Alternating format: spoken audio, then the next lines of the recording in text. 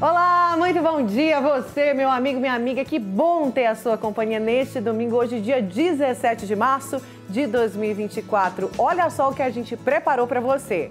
Robôs facilitam a vida do produtor de leite. As vacas são ordenhadas sozinhas, nem precisa de vaqueiro. Encontro discute plano de ação para identificar e combater a brucelose e a tuberculose bovina no estado. A Agrodefesa alerta para necessidade de registro de drones pulverizadores de agrotóxicos. Saiba como fazer, viu? A gente vai explicar para você. Festival de Cordeiro em Hidrolândia chegou à terceira edição. O evento reuniu criadores e admiradores de todo o estado, de ovinos, viu, gente? A gente vai te contar, inclusive, a diferença do cordeiro para o carneiro. Tem uma diferença grande aí. E a cantora Dani de Carla canta sucessos, fala da carreira e de quebra, ensina uma receita maravilhosa de costela de dar água na boca. Confere só. De amar é viver. Eu não faço amor por fazer. Animou aí? Eu tenho certeza que sim. Então vem com a gente que o Agro Record começa agora.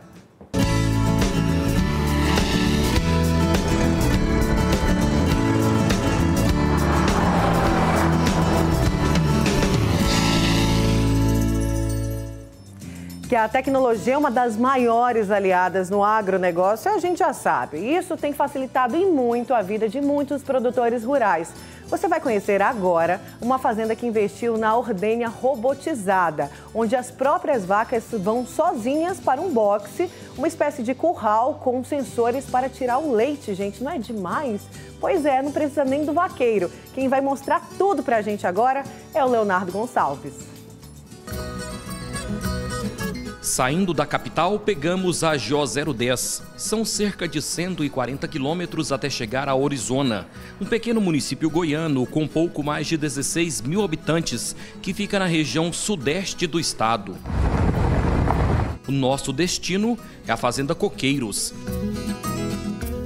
A pecuária leiteira é a principal atividade na propriedade do seu Cláudio. Em lactação estão 83 vacas da raça holandesa, mas para otimizar o trabalho de ordenha, ele buscou um sistema robotizado. A primeira principal coisa que eu olhei é a questão de funcionamento, se realmente funcionava, se essas vacas vinham sozinha mesmo, igual o pessoal falava. Aí então uma fazenda que eu visitei no Paraná, o cara tinha começado o projeto dele com dois robôs, estava com oito. Quer dizer que então, se fosse ruim, o cara não tinha ampliado. O conjunto de ordenha é de impressionar. Aqui tudo é bem diferente do convencional, tanto do sistema balde ao pé e também da ordenha mecânica. O robô tem um braço com equipamentos que funcionam perfeitamente com o comando de um computador. Mas no início foi tudo muito difícil. O Cláudio herdou essa área aqui de 24 hectares e começou ordenhando quatro vacas no sistema balde ao pé. Ele tirava o leite na fazenda e levava para vender lá no laticínio de carroça. E na volta trazia soro para alimentar os porcos. Foi tudo muito complicado, foi muita dedicação, né, seu Cláudio? Sim, no início foi bem difícil, porque como a gente começou tudo do zero, então a gente tinha muita dificuldade, porque faltava tudo, vamos dizer assim. Mas aí, graças a Deus, a gente foi trabalhando e foi conseguindo, adquirindo as coisas, melhorando cada vez mais. Essa ordenhadeira robô é de tecnologia holandesa.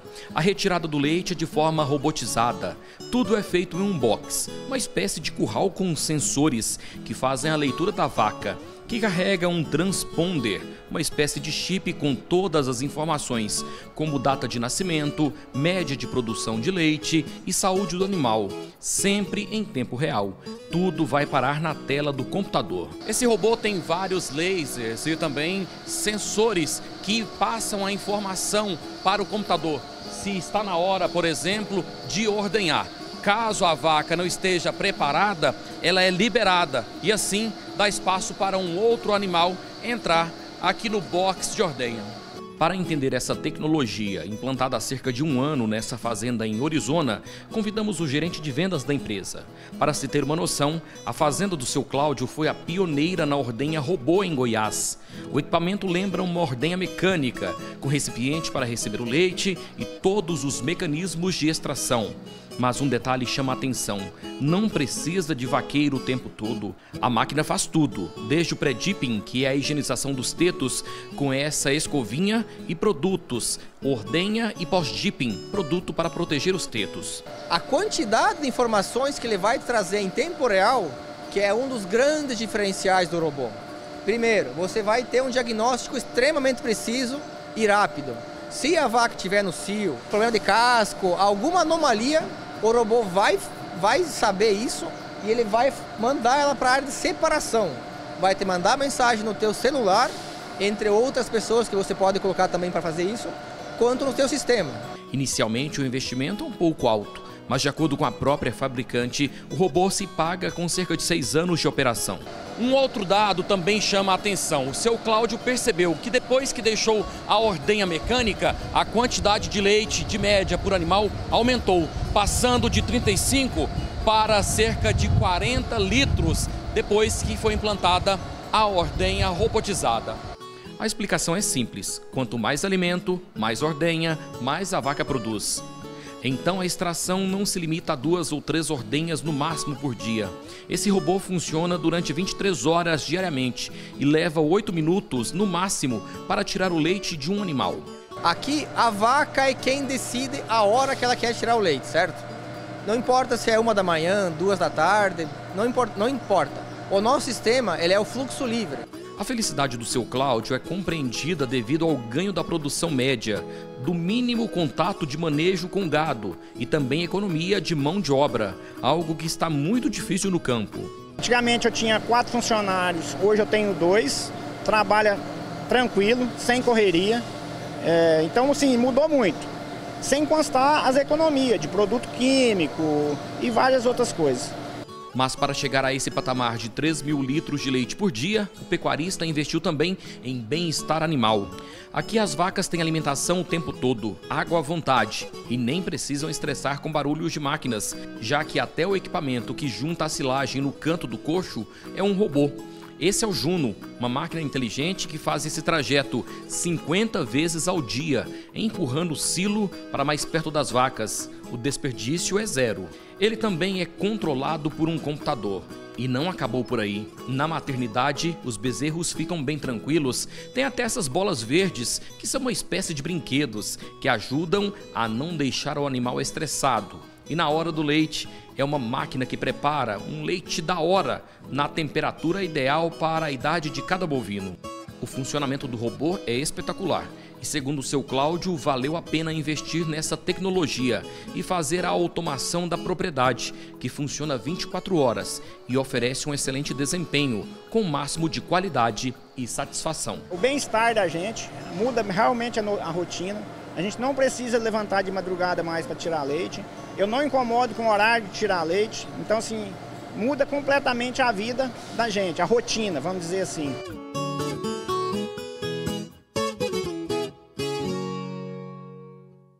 Agora o quadro Senar Goiás, do campo à cidade.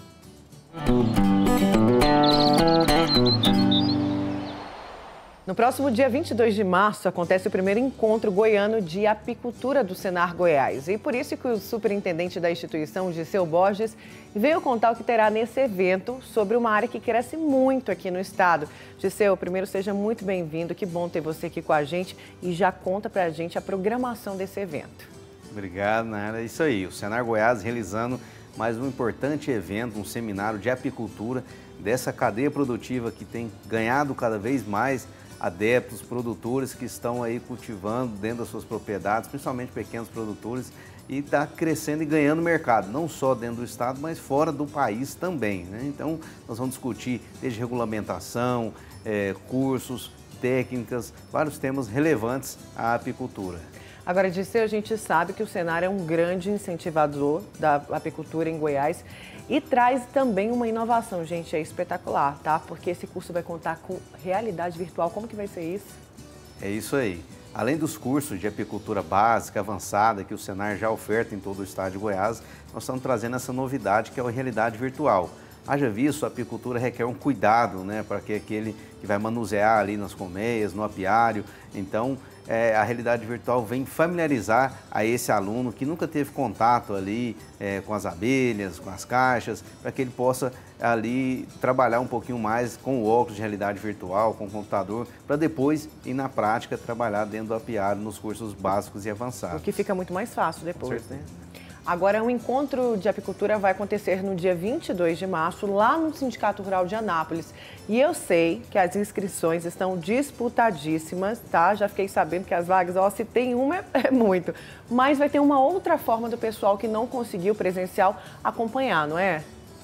É isso aí. O evento acontece no dia 22 de março, no Sindicato Rural de Anápolis, esse grande parceiro nosso porém o espaço é limitado, então nós estamos aí com as inscrições limitadas, gratuitas, e aquele que caso não consiga a tempo fazer sua inscrição para participar presencialmente do evento, pode acessar o site do Sistema FAEG.com.br ou o canal do YouTube do Sistema FAEG, onde nós estaremos transmitindo ao vivo todo o evento, as palestras, então ele poderá adquirir ali o conhecimento, participar do evento mesmo que de forma virtual para adquirir esse conhecimento dessa importante cadeia que é a apicultura. Basta acessar o YouTube do Sistema FAEG para poder participar virtualmente. É, o que o GC está falando, está aí na sua tela, mais informações do telefone, também um site de inscrição, já tenta logo lá. E o YouTube, o endereço já para você já se inscrever né, e deixar salvo ali no seu canal, viu? Disseu, muito obrigada. Parabéns, tá? Por esse evento, é isso aí. Tenho certeza que vai ser, já é um sucesso, né? Tanto que as inscrições estão quase no final.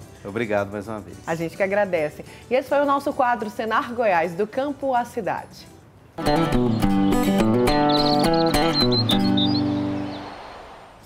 E a pesca voltou a ser permitida aqui no estado. Isso porque acabou a piracema, que é o período de proteção do ciclo reprodutivo dos peixes. Quem vai contar mais pra gente é a Larissa Dourado. A piracema é um fenômeno que ocorre sazonalmente com diversas espécies de peixes em todo o mundo. Aqui em Goiás, o período do defeso aconteceu entre 1 de novembro a 28 de fevereiro.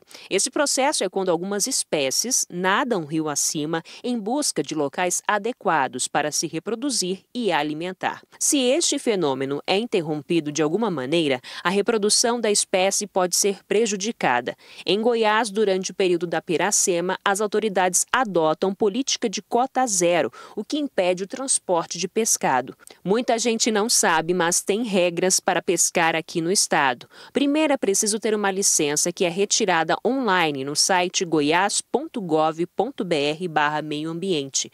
Os pescadores devem andar com as suas licenças durante toda a pescaria. Em alguns casos de abordagem da fiscalização ambiental, precisam apresentar para os fiscais documento de identidade e autorização para a prática da pesca. Essa licença é paga, mas há isenção do pagamento para homens com mais de 65 anos e mulheres com mais de 60 anos, indígenas, quilombolas e menores de 18 anos. Com o fim do período da piracema, também conhecido como defeso, começam a gerar algumas perguntas: o que pode e o que não pode. Vamos primeiro os que não pode. Petrecho de pesca predatória, seja tarrafas, espinhéis, pindas, explosivos, esse não pode de forma alguma. Ainda mais porque, além de configurar infração administrativa, também configura como crime. Agora vamos do que pode. Pode pescar com licença de pesca, aliás, deve pescar com licença de pesca, seja na sua modalidade ao qual você está exercendo a atividade. Pode ser subaquática, pode ser amador e pode ser esportivo. Além disso, você pode pescar até 5 kg de pescado dentro dos tamanhos mínimos e máximos. Claro que tudo dentro das regras. A fiscalização ela continua um ano inteiro e dura, viu, nos rios aqui do estado. Agora vamos dar uma olhadinha no que vai ter no programa do Faro? Você vai conhecer a história de Daniel Levi, o mini dançarino que conquistou o Brasil. Já temos uma estrela para o ano de 2024, gente. E para alcançar seu sonho, vai ter que abusar desse jogo de cintura. A gente tem aqui no palco desafios incríveis para você, Danielzinho, começar a construir a casa do tamanho. Fechado? Hora do Faro. E em abril, você não pode perder. Pode se preparar, hein? Estreia a nova temporada de Canta Comigo na tela da Record. Goiás busca avançar na identificação e no combate à brucelose e tuberculose bovina. O grupo se reuniu para atualizar o plano de ação para este ano, dividindo as tarefas que se adequem a cada um dos órgãos e entidades envolvidas. A intenção é melhorar os, índices de identificação, controle e erradicação das duas zoonoses no estado. Olha só. No último estudo epidemiológico, foi constatado que mais de 18% das propriedades estudadas testaram positivo. E o índice de vacinação contra a doença é de 41%, sendo que para avançar no seu combate, o índice deveria ser acima de 80%. Já a tuberculose tem um índice mais baixo, de 3,43%. Na classificação de risco, Goiás ocupa a posição C em uma escala de A a E, onde E é o índice mais crítico. Ele também informa que a tuberculose não tem vacina e nem cura. Ao ser identificado, o animal que testou positivo deve ser encaminhado ao abate sob risco de contaminar o rebanho. E vamos falar agora das cotações do mercado agropecuário. Vamos dar uma olhada, começando então pela cotação do milho. Aqui na tela a gente tem então a cotação do milho, a saca de 60 quilos, está sendo negociada em Campo Alegre de Goiás a 51 reais, em Doverlândia 50 reais. Olha só, a variação do milho no estado é negativa, mas uma queda muito pequena, tá? 0,9%. Vamos dar uma olhadinha agora na soja? A cotação da soja aqui, saca de 60 quilos, está sendo negociada em Anápolis a R$ 104,62 e Pameri R$ 103,25. E a gente vê aqui, olha só, a variação da semana em Goiás já deu uma alta significativa de 3,8% na cotação da soja. A gente fica feliz com esse índice. Vamos agora para a cotação do boi, arroba do boi gordo na tela para você. Arroba vista está sendo negociada em Jataí a R$ 202,50. Em Goiânia, R$ 208,62. Já a variação do boi, olha só, negativa, 1,5%. Vamos para o primeiro intervalo aqui do Agro Record, mas você sabe que é muito rápido, não vai sair daí, porque depois do intervalo a gente vai falar que a Agrodefesa alerta para a necessidade de registro de drones pulverizadores. E ainda tem um festival do cordeiro e eu vou te explicar. Sabe a diferença do cordeiro para o carneiro? Daqui a pouco a gente conta.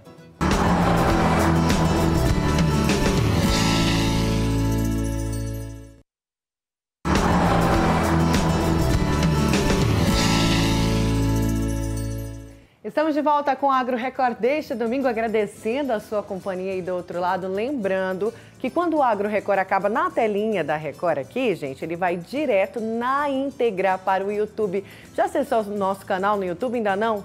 Já tá aí na sua tela. Acessa porque tem um monte de conteúdo bacana para você, viu? E olha só, gente, a Emater está doando hastes de muda de pés de piqui com e sem espinho para donos de viveiros de plantas. Os interessados têm até o dia 18 de março, ou seja, amanhã, para fazer a inscrição no site da Agência Goiana de Assistência Técnica. Vamos ver os detalhes com o Divino Rufino. Esse é um viveiro convencional de mudas de pequi produzidas a partir do caroço do fruto. Esse é um jardim clonal, com cinco cultivares de pequizeiros com e sem espinho, desenvolvido pela Emater em parceria com a Embrapa Cerrado. Essas plantas garantem frutos em menor tempo, com mais qualidade e maior produtividade. O sonho de todo produtor. Esse aqui é um pé de piqui produzido a partir do caroço do fruto. Já tem um ano de idade e está no porte ideal para fazer a enxertia. O Ailton vai explicar para a gente como que faz isso. Olha, é, para ficar mais fácil o entendimento do público em geral, eu comparo a enxertia desse método com a troca da porta de uma casa. Então aqui primeiramente eu vou demarcar a porta velha que nós vamos trocar. Deu para ver o formato da porta? Sim. Essa técnica é uma técnica muito antiga, né, professor? É antiga. Enxertia é um método antigo, muito empregado nas fruteiras é, geralmente manga, é manga, laranja, uva, abacate, tudo usa enxertia. Então agora nós vamos colocar uma porta nova no lugar. Então aqui está a porta nova, que é a placa contendo uma gema. E essa gema é que vai dar é, o futuro dessa planta. A essa planta vai passar a emprestar somente o sistema radicular para outra. O que, que significa isso? É, significa que depois que o enxerto pegar, nós vamos cortar essa planta para que essa aqui sobreviva no lugar dela. E a antiga que vai fornecer a seiva, por exemplo, para essa nova. É isso, exatamente.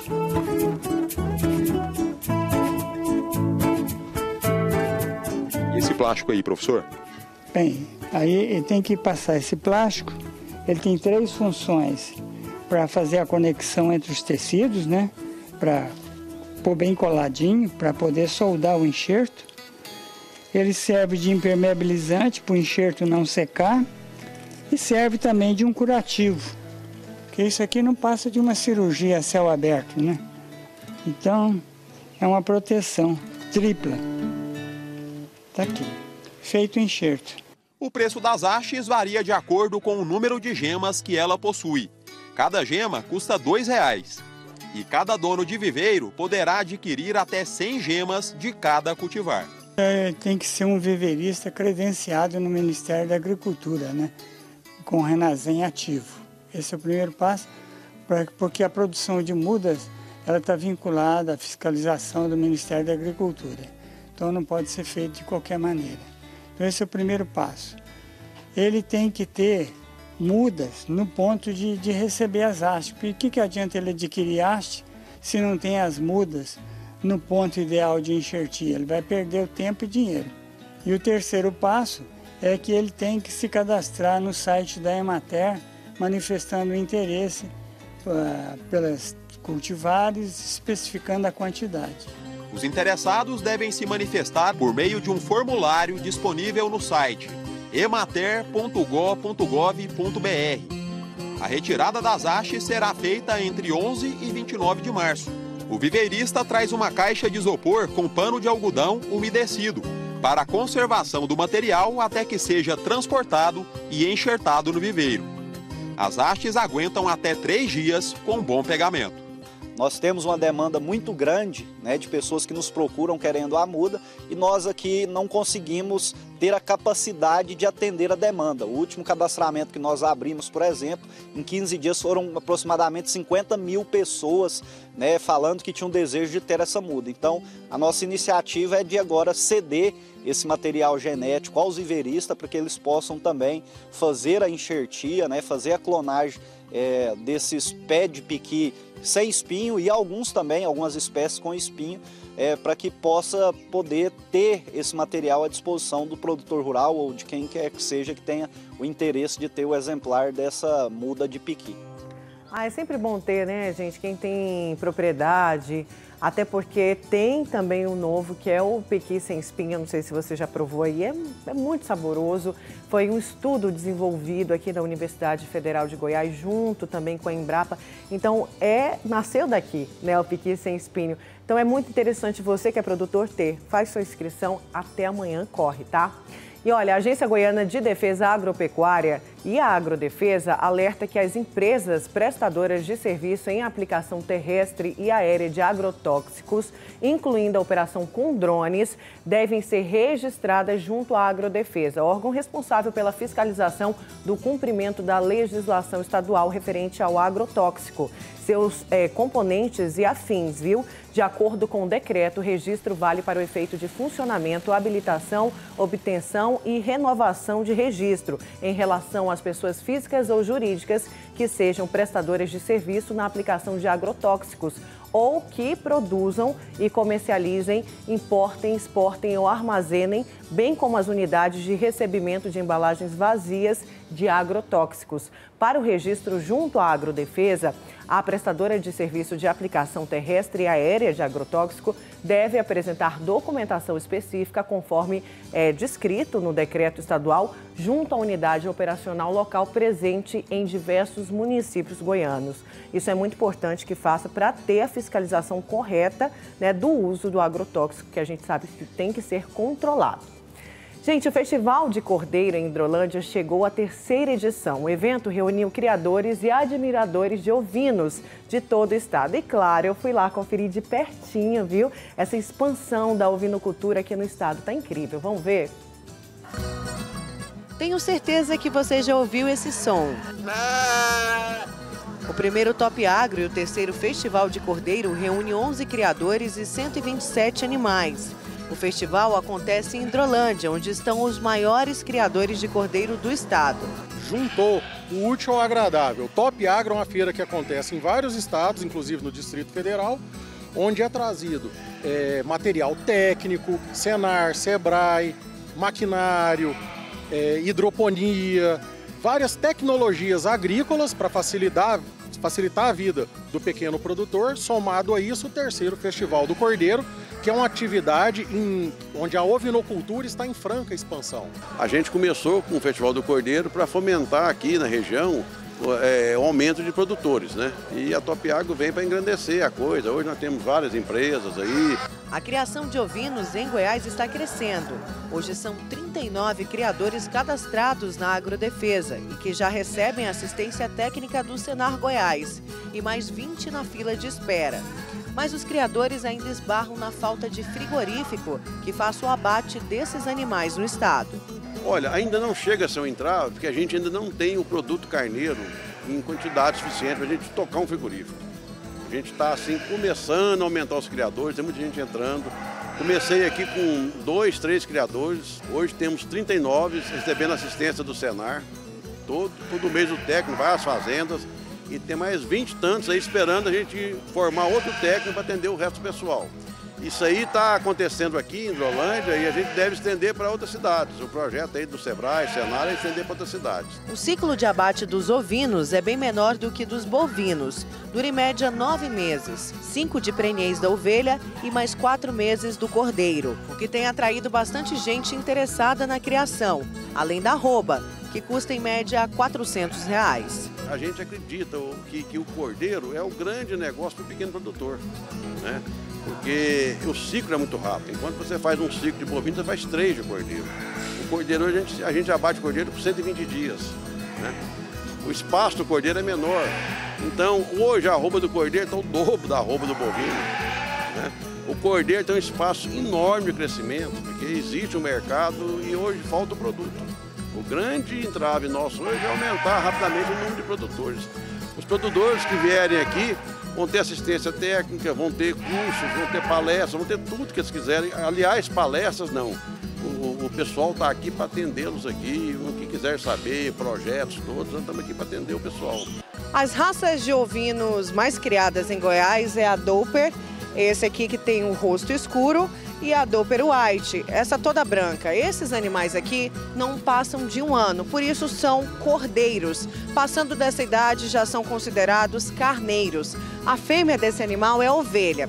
E olha, no Brasil, geralmente, as raças criadas aqui no país, elas têm a pelagem mais curta, diferente daqueles filmes que a gente vê com aquelas ovelhas com a pelagem bem grande. Aqui, ó, não passa dessa altura aqui. Esse aqui tá podado, mas chega mais ou menos até aqui. Essa diferença do cordeiro e carneiro é importante para o consumidor, principalmente pelo sabor da carne. Se você já provou e sentiu um gosto forte, provavelmente era carneiro, animal mais velho e que os hormônios acabam influenciando no sabor. Quem come pela primeira vez, às vezes um gosto mais forte, acaba criando uma barreira e às vezes não quer mais comer a carne ovina. E existe esse desconhecimento, o que é carneiro, o que é cordeiro, e, mas quem come cordeiro pela primeira vez é, vai querer comer de novo, porque é, é uma carne que aprecia o nosso paladar. O brasileiro gosta dessa carne. É, ela é muito parecida com a carne que a gente está mais acostumado, que é a carne bovina. O festival contou ainda com vários expositores, além do Senar, com assistência aos produtores rurais. Os animais passaram por uma triagem para concorrer a premiações. O Rodrigo, por exemplo, é dono de um cordeiro que foi premiado a nível nacional. Temos três campeões brasileiros, sendo que um foi o grande campeão brasileiro, que é onde se junta todos os campeões e puxa um. Fomos agraciados com esse animal em 2018, que serve até hoje no nosso plantel.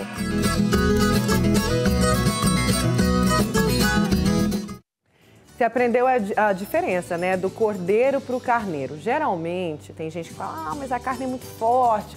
É porque não provou o cordeiro, que é uma carne mais leve, gostosa, não tem influência de muitos hormônios, como tem o carneiro. O Brasil importa muito carneiro do Uruguai. E geralmente ele já vem, né? O carneiro já é mais velho, então ele já vem mais envelhecido e às vezes essa carne já não é tão boa. Por isso que existe um certo preconceito com a carne do carneiro, do cordeiro, na verdade. Mas o cordeiro é uma delícia. Prova que vale a pena, viu? E vamos para mais um intervalinho muito rápido, gente. Daqui a pouco vamos falar que a SEMAD lança um aplicativo é, para denúncias de crimes ambientais. E ainda, Dene de Carla canta sucessos. Fala da carreira e ensina uma receita de costela de dar água na boca. Não vai perder, viu?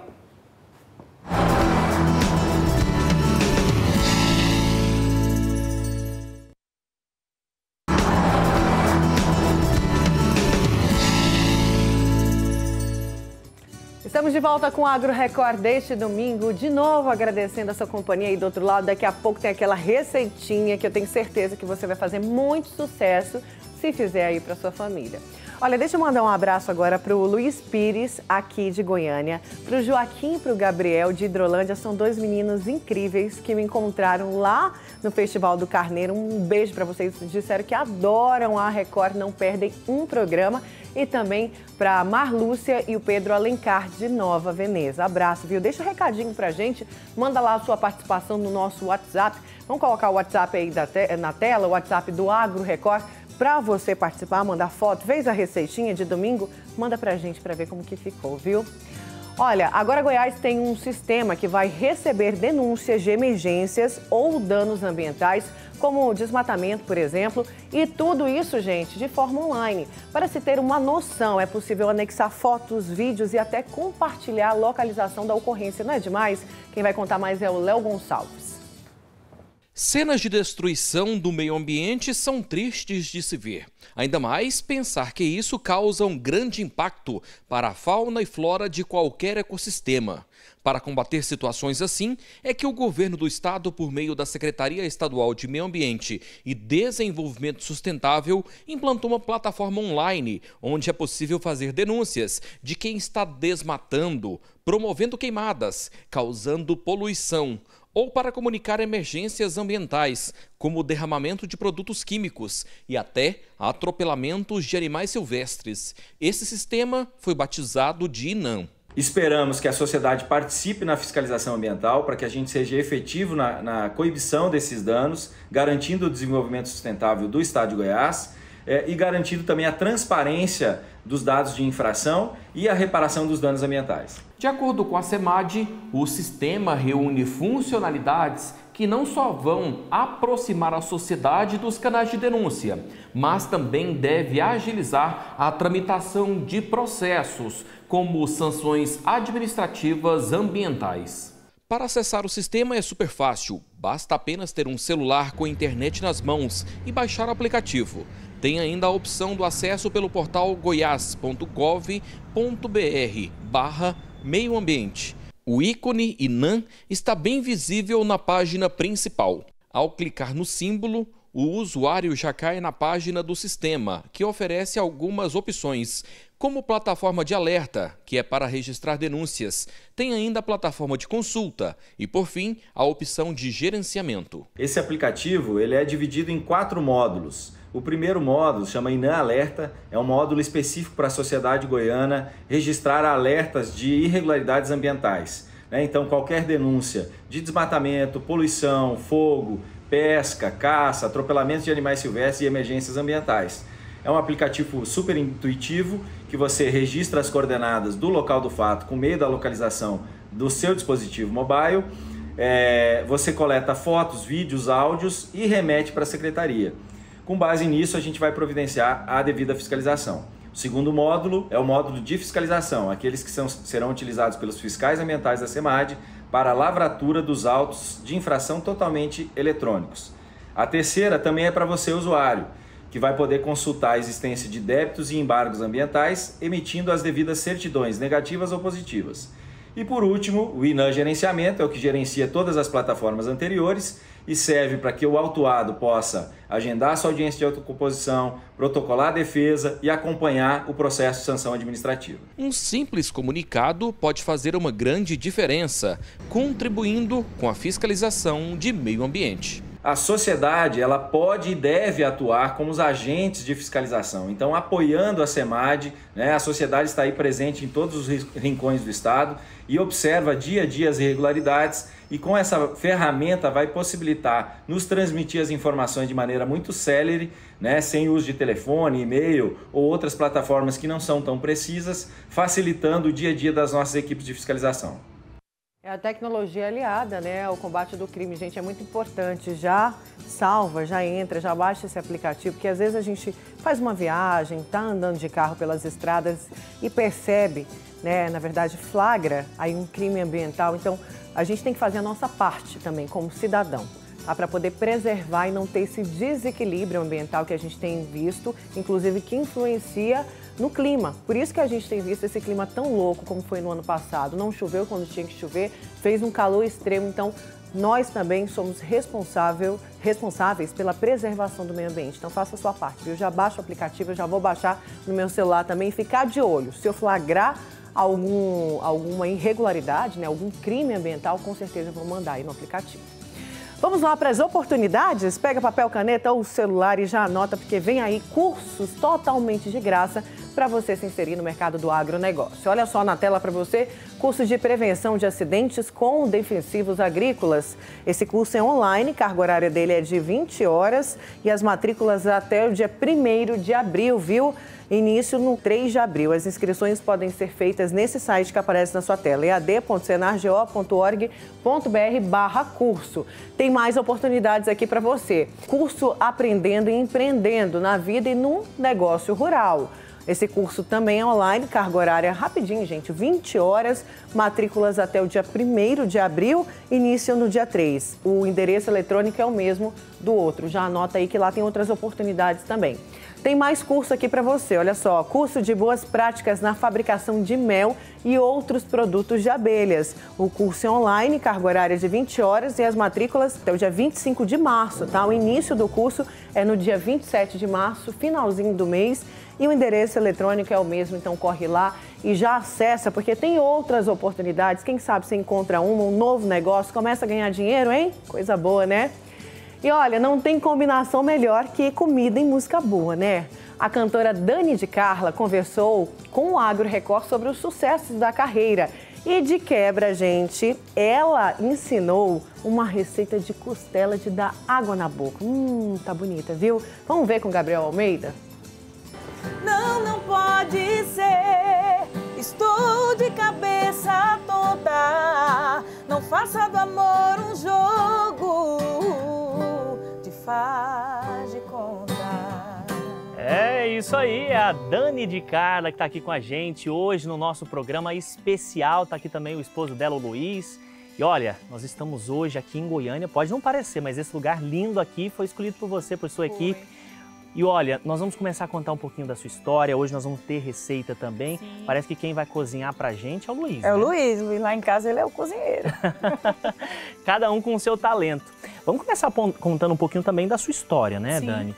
Quando é que começou esse desejo pela música? Onde é que surgiu?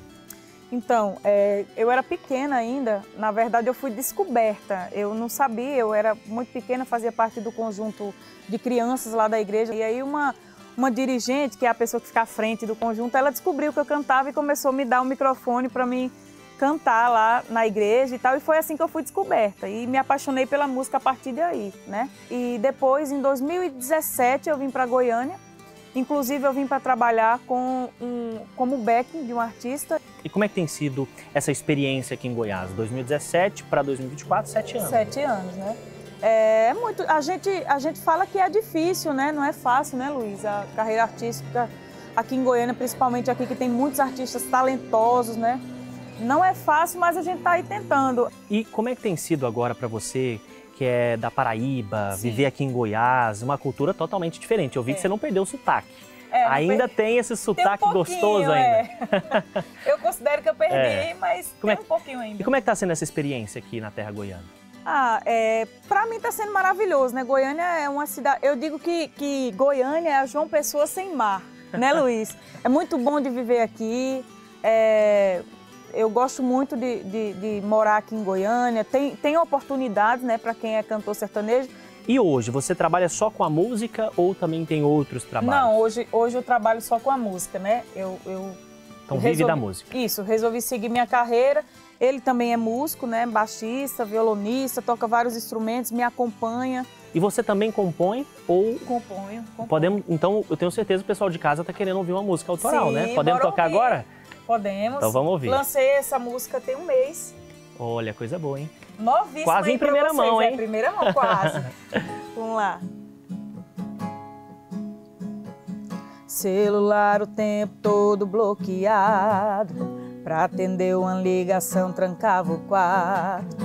Tantas horas no banheiro, só pra trocar mensagem com aquele contato. Tava na cara, só eu quem não via sua covardia. Tava comigo à noite, com ela de dia. Se eu desconfiasse, eu era sempre a louca que não te entendi.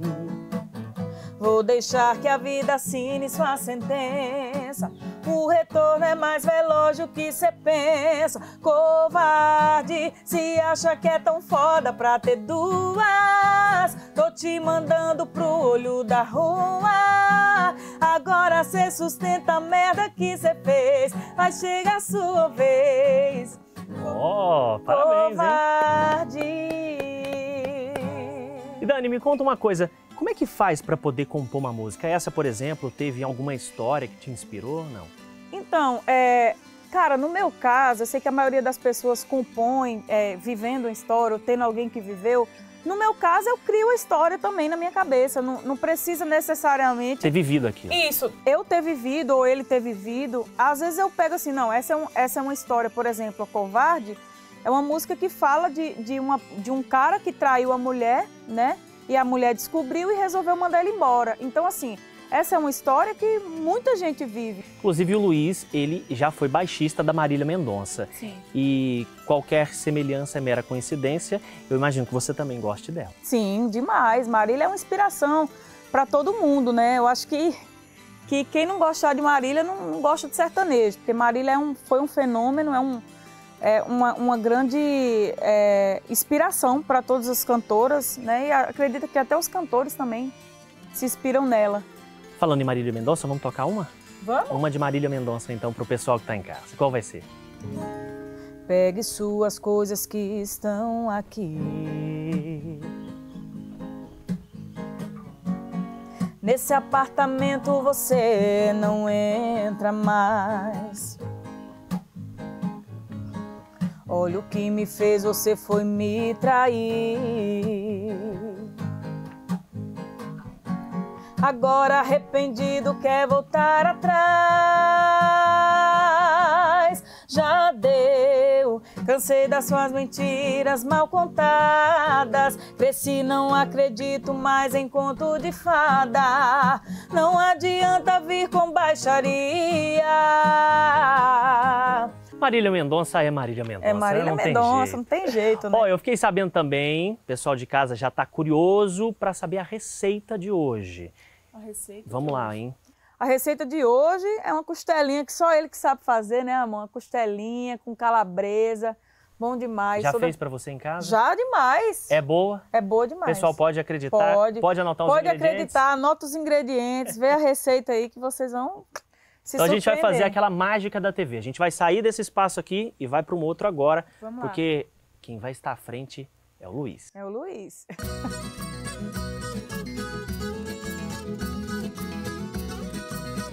Ó, já tá aqui os ingredientes. O pessoal de casa já pode anotar, né? Exatamente. Eu tô vendo que o primeiro e mais importante é a costela. É a costela. Aqui tem um quilo de costela, né? Essa costela aqui a gente faz com cebola e calabresa Quanto de cebola? e sal, né? Aqui eu coloquei três cebolas, né? A gente tem aqui também a calabresa. Calabre- duas calabresas. Duas né? calabresas. E o, O sal, o sal é a gosto, né? E o sal é a gosto. E o óleo, que é claro, para fazer. óleo a- é- é, eu coloco um, um fiozinho de óleo só para a cebola não ficar pregando lá na, na parte de baixo, né? Porque o primeiro que você coloca é a cebola. Entendi. Entendeu? Pra dar aquele cheirinho, aquele gosto ali. É, exatamente. Porque a costela vai vir em cima da cebola depois. E outra coisa, quanto tempo em média dá pra fazer essa receita? Você coloca a, né, no fogo, né? E espera ela dar pressão. E marca aí 40, 45 minutos. Então, Aí já 50 sai minutos perfeito. no máximo já tá pronto. 50 não, ser uns 40, 40 e pouco. mais ou menos. 40, 40 minutos no máximo. É uma receita fácil, com poucos ingredientes, mas eu tenho certeza que fica uma delícia. Exatamente, fica muito bom, né?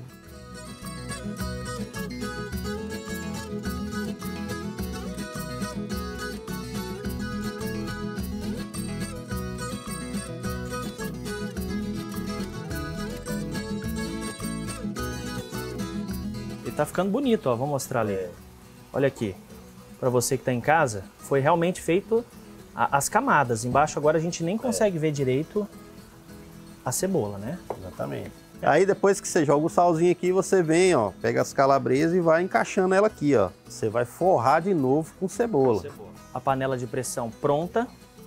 Cebola, carne, sal, calabresa e cebola. Facinho Pronto, de decorar. Facinho. Depois que você fez isso aqui, você vai pegar a tampa aqui, ó, fechar a panela.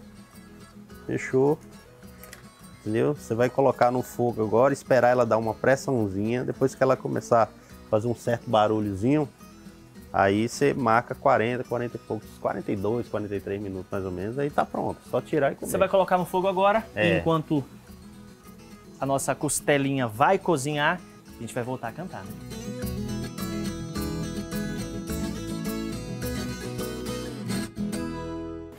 Eu quero que risque meu nome da sua agenda. Esqueça o meu telefone, não me ligue mais. Porque eu já estou cansada de para curar o seu tédio quando seus amores não lhe satisfazem. Eita, coisa boa, nada do que um modão para deixar o seu domingo ainda melhor. Vamos continuar conversando um pouquinho aqui, porque eu quero entender como é que tá o futuro, como é que tá os planejamentos de agora em diante. Ah, a gente tá planejando aí gravar mais trabalhos, mais músicas, né? Eu tô com uma música lançada recentemente, inclusive escutem aí, hein, Covarde. e no futuro nós vamos fazer mais músicas, vem mais clipes aí pra vocês, mais músicas autorais. Tenho certeza que vocês vão gostar, hein? Olha, eu tô sentindo um cheirinho, parece que tá vindo ali da cozinha. Tá vindo da cozinha. Será que vai ser bom esse negócio? Vai ser bom, tô É, te falando. certeza? Você Pode já acre- experimentou, então Já. vou confiar. Então Pode vamos lá? acreditar. Vamos, ver Vamos. se tá pronto? Vamos. Então vamos lá. Olha aqui, gente. Que isso, ó. Maravilha. Tenho certeza que quem tá em casa agora vai fazer mesmo hoje, Vai. nesse domingo. Vamos lá. Aproveita aí, viu?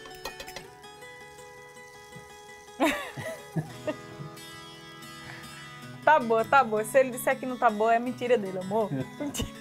Ó. Excelente. A carne tá soltinha, muito bem temperada. Parabéns, viu, Luiz? Valeu Obrigado. mesmo. Obrigado você por ter feito essa receita aqui, por ter ensinado o pessoal de casa também. Você tá bem servido em casa, hein? Tô. Maridão Ele do gosta, de, domingo. ele gosta de cozinhar, não é só costela, não. Ele tem hora que ele, ele inventa umas receitas lá e fica top. E eu tenho certeza que o pessoal de casa quer saber onde te encontrar, como contratar seu show. Pra me acompanhar, você coloca lá no Instagram, nas redes sociais, todas as redes sociais é Dani de Carla, Dani com Y e Di com I. Dani de Carla, você me encontra no Spotify, em todas as redes sociais. Escuta o meu lançamento Covarde, quase em primeira mão pra vocês aí. E, e é isso. Muito obrigada também. A gente é que agradece. Obrigado, Dani. Obrigado, Luiz. E até a próxima. Até lá. Tchau. Tchau. Eu não faço amor por fazer. Tem que ser muito mais que prazer. Que ser todo dia, sem cama vazia, no amanhecer. Que delícia de dia, Dani de Carla. Um abraço para você, talentosíssima. E que, e que espetáculo de local, né? E essa receita, gente, eu confesso que eu fiquei aqui, ó, que a barriga até doeu, gritou de fome, porque parecia estar espetacular. Tenho certeza que estava, que o Gabriel não mente. Agora, um destaque também para esse paraíso onde foi gravado, né, gente? Espetacular. Dani de Carla, mais uma vez, sucesso para você, minha linda. Você é maravilhosa. Viu? Beijo grande. Olha, e o nosso Agro Record vai ficando por aqui. Lembrando que você pode rever todo o programa, inclusive pegar o passo a passo da receita, viu? Lá no YouTube. Muito obrigada pela sua companhia. Um excelente domingo, uma semana abençoada e a gente volta a se encontrar amanhã no Goiás Record. Tchau!